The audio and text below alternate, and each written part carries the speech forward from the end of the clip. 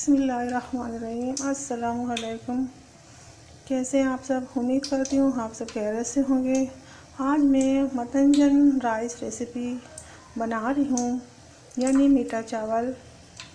सबसे पहले हमने इसमें एक कप तेल ऐड की है। एक कप तेल के बाद हमने इसमें तीन हदद इलायची और अस पे ज़रूरत हमने इसमें बादाम ऐड कर दिया। इसको हल्का सा माल्ट करना है थोड़ा सा माल्ट हो जाए। आग को हमने बिल्कुल लाइट हल्के स्लो कर दिए थोड़ी सी हमने यहाँ पर तेज़ करनी थी, ताकि ये सही तरह से मल्ट हो जाए। इसके बाद हम इसमें आधा कप दूध ऐड करेंगे और आधा गिलास पानी इसमें ऐड करेंगे। हम देखें मल्ट हो चुके हैं। हमारे बादाम बिल्कुल मल्ट हो चुके हैं। अब इसमें हम आधा कप दूध ऐड करेंगे। इसके बाद हम इसमें एक गिलास या आधा गिलास जैसे आपको अच्छा लगे, उसी हिसाब से आधा गिलास भी आप ऐड कर सकते हो। एक गिलास भी लेकिन मैं तकरीबन आधा गिलास पानी की ऐड कर रही हूँ। इसके बाद हमने इसमें चीनी, जो आपको ज़्यादा मीठा पसंद हो, आप ज़्यादा चीनी डालिएगा। अगर कम मीठा पसंद हो तो अपने हिसाब से, जायके के हिसाब से, मीठे के हिसाब से, उसी तरह आपने मीठा ऐड करना है। अब चीनी हमें अपनी तरफ़ से नॉर्मल अंदाज में ऐड कर रही हूँ, जितना हमें मीठा पसंद है, इतना ही हम लोग ऐड करेंगे। अब इसको हमें अच्छी तरह मल्ट करना सही तरह ये मल्ट हो जाए।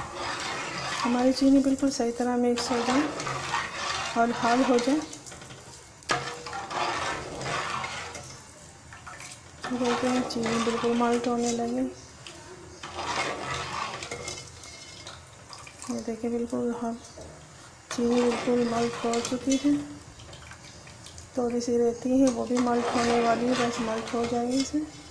और इसी तरह मिक्स हो गई है। आप चाहो इसमें आप लौंग भी ऐड कर सकती हो। चाहे इसमें किशमिश भी ऐड कर सकती हूँ। जो चीज़ें आपको ज़्यादा पसंद है, आप उसको वही चीज़ ऐड कर सकती हो। जैसे कि मैं किशमिश को ज़्यादा पसंद नहीं करती तो मैंने इसमें किशमिश नहीं ऐड करनी और मैंने इसमें सिर्फ़ इलायची और बादाम ऐड कर दिया। अगर आपको लौंग पसंद है, लौंग भी ऐड कर सकते हो, तीन से चार अदद। आप देख सकते हो, चावल भी अच्छी तरह गल चुके हैं। अब हमने चावल के पानी को बिल्कुल सब चावल को कुछ करना है और फिर इसमें हमने ऐड करना है। अब इसमें हमने राइस ऐड कर दिए चावल को हमने ज़्यादा नहीं खिलाया इसलिए कि अगर जहाँ चावल ज़्यादा गल जाए तो इसमें चावल आपस में एक दूसरे के साथ जुड़ जाते हैं और हमारी मतजन रेसिपी बिल्कुल अलग अलग नहीं नज़र आएँगी। और इसमें देखिए, इसमें हमने आधा पानी छोड़ा हुआ था पहले से। जो शीरा हमने तैयार किया, उसमें हमने थोड़ा सा पानी छोड़ दिया ताकि चावल सही तरह दोबारा गल जाए। और जब ये गल जाएँगे, इसको हमने ढक्कन को अच्छी तरह हमने कवर करके इसमें दम पे लगाना है। और ये तकरीबन तकरीबन आधे घंटे में ये हमारी रेसिपी तैयार हो जाएगी। अब देखो बिल्कुल ये गलने वाले चावल। और चावल को उबालते वक्त उसको ज़्यादा गलाना नहीं कच्चा पक्का रखना है ताकि दोबारा हम इसमें मिक्सचर में मिक्स कर देंगे। जो पानी और दूध और जो इसकी चीनी मिक्स करके हमने तैयार किया, उसमें पानी भी डालना था। और पानी की वजह से हम इसको ज़्यादा नहीं हिलाएँगे, क्योंकि दोबारा इसमें ऐड करेंगे ताकि सही तरह गल जाए और दाना बिल्कुल अलग अलग से लगे।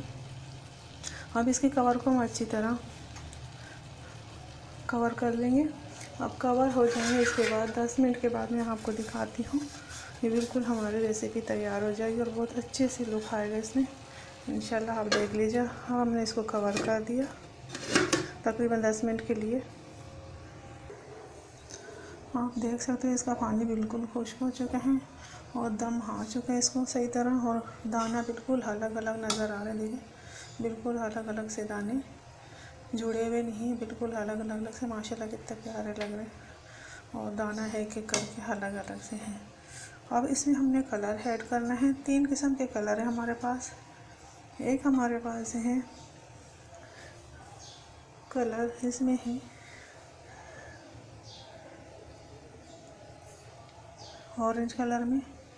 अब इससे हमने इस तरह ऐड करना है।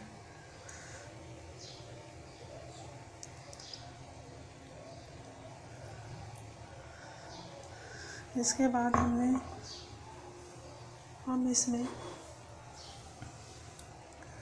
ग्रीन कलर ऐड करेंगे।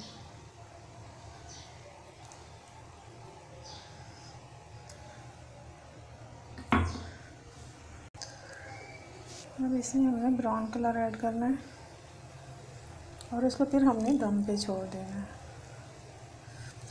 टू टू स्पून तमाम कलर से हमने ऐड कर दिया ब्राउन ग्रीन और ऑरेंज कलर और माशाल्लाह देखना पाँच दस मिनट के बाद हम इसको दोबारा कवर कर देंगे। कवर करने के बाद फिर हम आपको दोबारा से दिखाएँगे। अल्लाह से हमारे मटन जन राइस रेसिपी बिल्कुल तैयार हो गई है। माशाल्लाह आप देखते हैं किस तरह प्यारा लुक आ चुका है और कितना प्यारे से लगे कि दाना आपको अलग नज़र आने लगे। और तीन कलर में ये डिवाइडेड हो चुके हैं। ग्रीन इसमें ही है और ग्रीन कलर को बहुत कम ज़्यादा नज़र आ रहा है और इसमें है ब्राउन और इसमें है मालटा कलर ऑरेंज कलर इसमें ज़्यादा नज़र आने लगे। और माशाल्लाह कितना प्यारा सा लुक आया है। बहुत प्यारी सी रेसिपी बनी। हाफ़ चाहो तो इसमें कोई भी हाफ़ ऐड कर